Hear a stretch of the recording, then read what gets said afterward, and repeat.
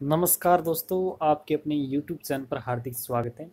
यदि आप इस चैनल पर पहली बार हैं तो चैनल को ज़रूर सब्सक्राइब करें, वीडियो पसंद आए तो वीडियो को लाइक करें।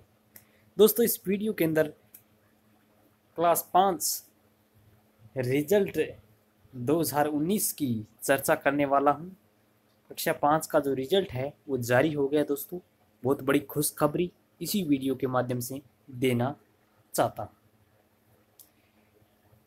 दोस्तों, यदि आप कक्षा पाँच का रिज़ल्ट देखना चाहते हैं तो वीडियो के डिस्क्रिप्शन में लिंक दिया है, वहाँ से आप सीधा डाउनलोड कर सकते हैं।